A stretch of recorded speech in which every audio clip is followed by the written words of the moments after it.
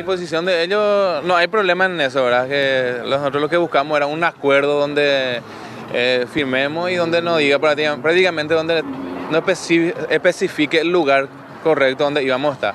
Porque había varias versiones que recibimos y nosotros por eso queríamos, o sea, pedimos documentos porque, para que nos avale a nosotros. Y logramos, gracias a Dios, y llegamos a un acuerdo porque esta era la oportunidad que nosotros podamos generar algo y si no, prácticamente nos lleva a otro lado, no vamos a estar generando nada. Censado estamos 100, 100 vendedores, pero eh, más constante estamos como 80 reventadores, estamos el que día a día viene. 80 personas estarían ahí. Sí, acá en el tema de la zona de 15 de agosto hasta el, lugar semafórico. Tenemos con los directivos otra una mesa de, diálogo eh, para saber cómo va a ser la hoja de ruta prácticamente de la organización Nodo de Sur.